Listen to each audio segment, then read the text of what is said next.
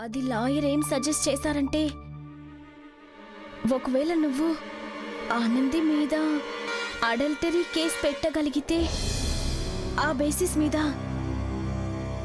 ఆ బేసిస్ మీద మనకు సులువుగా డివోర్స్ దొరుకుతాయంట.